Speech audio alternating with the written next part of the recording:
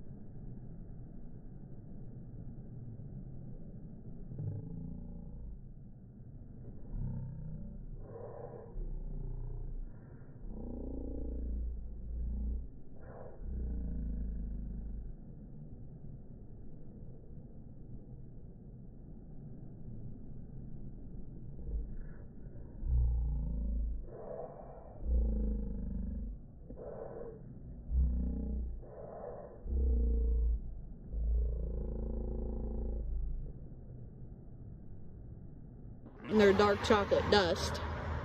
They are absolutely amazing and fabulous. So, again, St. Thomas Roasters, we will be coming to see you soon. And this is Rebecca McCarthy signing off.